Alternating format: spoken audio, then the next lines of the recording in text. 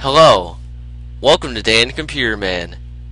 Today, in episode 35, I'm going to be showing you how I can install and run After Dark 3.2 on Windows Vista or XP. So the first thing you gotta do is open up your web browser, mine Safari of course, and then you have to go to this following site, tigerheli.joymonkey.com. And in case you're wondering, I did email the owner of the site to get permission to use this site in my video, and he said it was okay.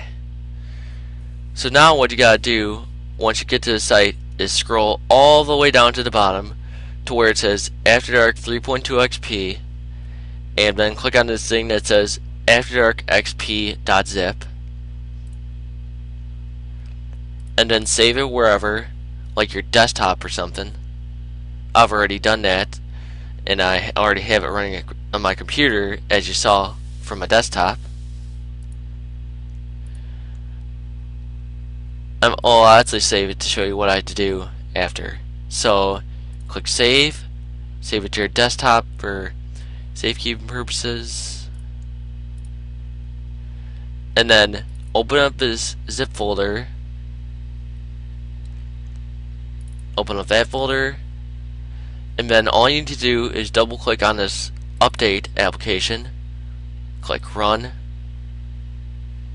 Click run again.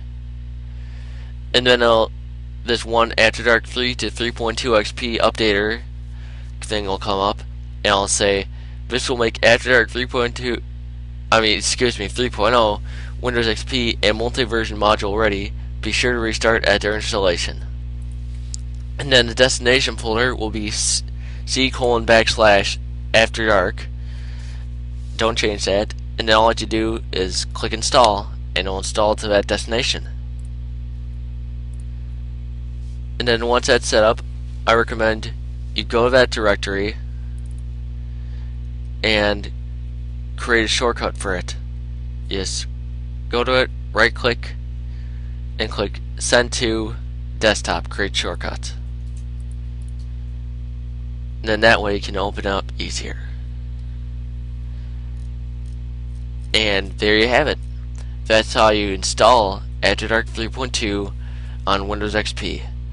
And as you can see I also have the After Dark 3.0 module which I'll actually show you how to get onto your After Dark 3.2 right now. So all you gotta do is scroll down and click on after dark underscore 30 underscore xp dot zip. Save it to your desktop. Uh, it's gonna take a little while. Up there we go.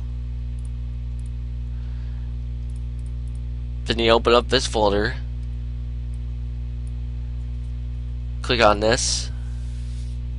Wait actually first you'll want to read the readme and it says this module is for AfterDark 3.2 XP only. It installs AfterDark 3.0 modules. Extract AfterDark 30 module.zip to c.afterdark. Enjoy. So that's all I gotta do. So you click on this. Well, actually, it uh, just go here, extract all to desktop, and then you right click on this folder and click extract all to C and then your After Dark folder. But I'm not going to do that because I already have it as you saw. So that is how you install After Dark 3.2 and the After Dark 3.0 module.